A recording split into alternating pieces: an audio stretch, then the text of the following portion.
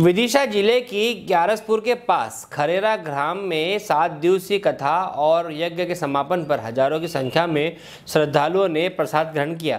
चौरासी गाँव के श्रद्धालुओं ने सात दिन तक कथा का श्रवण किया था और भारी संख्या में भक्तों ने भगवान के विभिन्न अवतारों का श्रवण किया। यजमान शंकर दयाल शर्मा ने बताया कि इस प्राचीन ऐतिहासिक खरेरा धाम मंदिर हैदरगढ़ क्षेत्र के चौरासी गाँव के आस्था का केंद्र है। सात दिनों तक चौरासी गाँव की जनता का जन सैलाब उमड़ा रहा। बड़ी संख्या में यहाँ पर दर्शन आरती करने श्रद्धालु पहुँचे। कथावाचक सुश्री रेखा शास्त्री के मुखारविंद से कथा का श्रवण किया जा रहा है विदिशा से आशीष सहले की रिपोर्ट।